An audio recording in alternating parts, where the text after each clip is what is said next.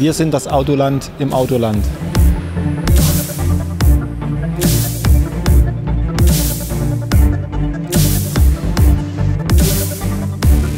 Ich habe schon gerne früher so ein bisschen an Modellautos gebaut, durch den Vater, durch den Opa. Ja, und dann war der Onkel eben auch Kfz-Elektriker. Und es hat mir alles schon immer ein bisschen Spaß gemacht. Ich habe mich bei dem in der Firma beworben, bin Kfz-Mechaniker geworden.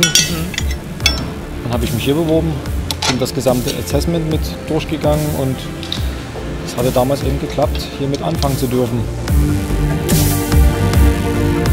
Einzigartigkeit ist eigentlich, dass eine Automobilmanufaktur oder ein Automobilhersteller mitten in der Stadt, hier am großen Garten in Dresden, Autos produziert, herstellt, baut.